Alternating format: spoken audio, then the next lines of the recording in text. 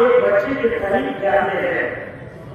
उसके कपड़े मैले पूछे हैं, गंदे हैं। उसका चेहरा गंदा है।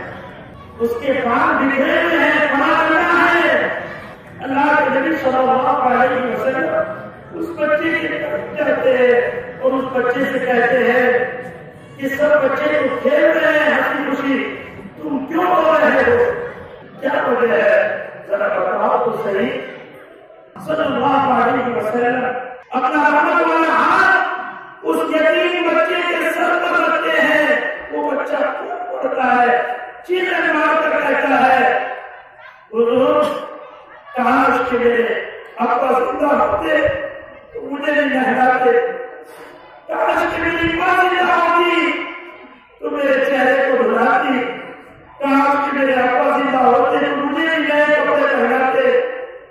de la